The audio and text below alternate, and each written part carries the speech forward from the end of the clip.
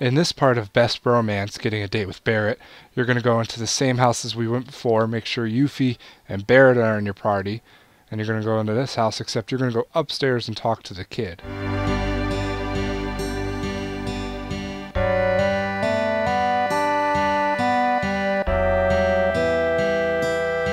And you're just going to say, yeah, maybe. And that's it for this part. The next part's going to be in Fort Condor, so I'll see you there.